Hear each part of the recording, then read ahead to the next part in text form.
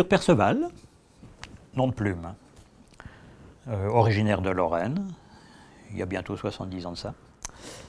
Et euh, j'ai fait mes études à Nancy, parce que euh, si maintenant il y a de quoi étudier à pas mal d'endroits, à l'époque il n'y avait guère que Nancy pour faire des études. Voilà, bon, après ça, avec un BTS en poche, je suis venu travailler comme agent technique dans l'industrie. C'était en région parisienne, ça a duré 4 ans. Après quoi, j'ai passé un concours pour rentrer à l'éducation nationale, que j'ai réussi. Et voilà, ensuite j'ai travaillé en tant que professeur dans un lycée jusqu'à la fin de ma carrière. Donc toujours dans le même établissement, il y a une certaine forme de fidélité. S'il s'intitule Chardon dans les roses, c'est pas non plus tout à fait euh, comme ça, comme, euh, comme un cheveu sur de la soupe. Euh, il y a aussi du sens dans le titre. Hein. Qu'est-ce que ça évoque? Chardon, il y a des épines. Les, roses aussi, il y a des épines. et si on mélange les deux, si on met des chardons dans les roses, oula, c'est épineux. Oui, oui voilà. Hein. J'ai écrit sur l'amour, mais des situations épineuses. Des situations épineuses.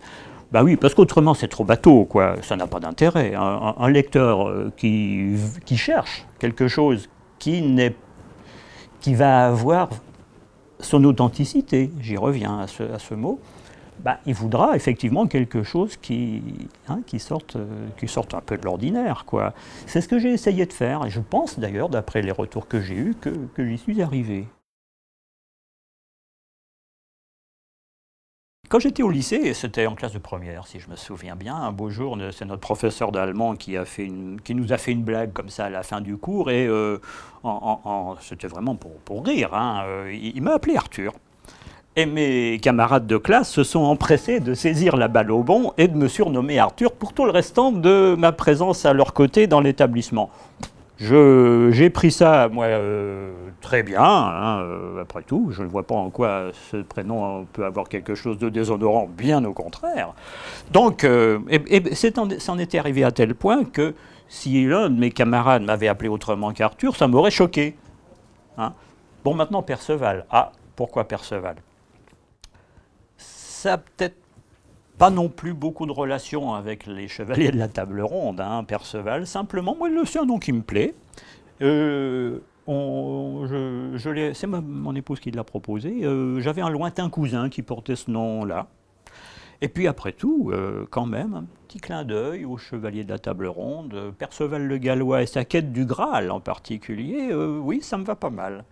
Il y a un petit aspect quête du Graal dans ma démarche.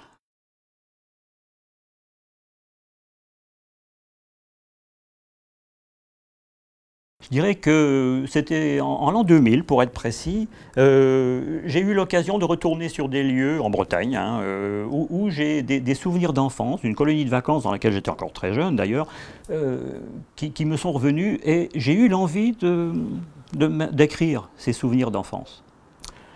Et donc ça a donné lieu à une centaine de pages, oh, avec beaucoup de maladresse. bon, ça ne valait pas grand-chose d'un point de vue littéraire, mais Bon, euh, j'avais jamais rien écrit avant, donc j'ai proposé euh, ce petit condensé et la, lecture de deux amis. Hein. Alors, euh, le premier m'a encouragé à écrire en trouvant que y avait j'avais dans mon style des, choses qui méritaient d'être piochées. il dit ah tiens oui, il me dit ça après tout, il a peut-être il a peut-être raison, Claude. Bon, et puis un autre, un ancien camarade de lycée euh, que j'avais perdu de vue depuis longtemps et puis que j'avais retrouvé là, hmm, il me dit Ah, euh, oui, c'est dommage qu'il n'y ait pas une histoire d'amour dans ton histoire. comme ça, en souriant, euh, gentiment, hein, bien sûr. Ah, je lui dis Tu sais, des gars d'une douzaine d'années, qu'est-ce que tu veux C'est pas, pas l'âge. C'est pas l'âge, je ne pouvais pas. Bien. Et puis euh, ensuite, bah, l'idée a fait son chemin. C'est parti de là en fait. C'est parti de là. Je voulais mettre en scène des personnes, pour faire simple, hein, euh, ayant autour de 20 ans, de un peu moins à un peu plus. Et précisément, bah, je l'ai situé à l'époque où j'avais moi-même cet âge-là. La place des femmes, elle est, euh, elle est prépondérante. Elle est centrale, inévitable, incontournable. C'est même la question centrale, quoi. Les, mais les femmes, euh, les femmes, c'est le monde.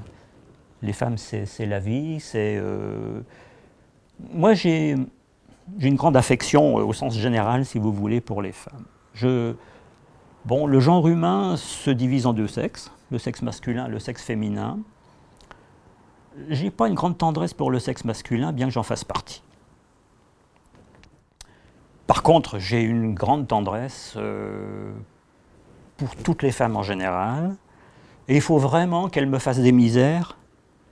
Et euh, j'ai pas trop à m'en plaindre en général, sans doute parce que euh, je réussis aussi, moi, à, avoir un comportement vis-à-vis des femmes qui, bah, qui leur convient relativement bien.